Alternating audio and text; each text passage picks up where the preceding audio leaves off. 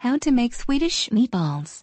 This is by far one of the most famous Swedish meatballs and it's very easy to make.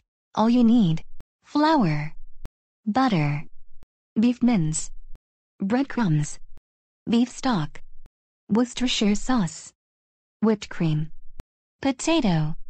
And lingonberry jam. Step 1. Put a pot onto the stove and add water. Add potatoes. Boil at temperature at 400 degrees Fahrenheit for 45 minutes. Step 2. Prepare your mixing bowl and add whipped cream. Add water. Add boiled potatoes. Mash it until it's smooth.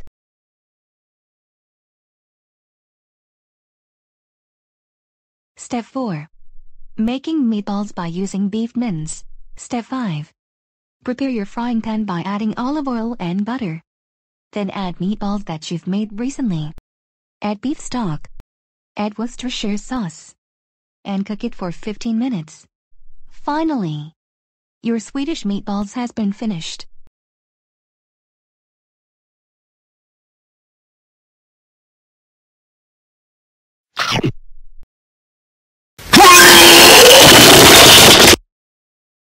I'm sorry. I've forgotten to add breadcrumbs with beef mince together to make a perfect meatballs.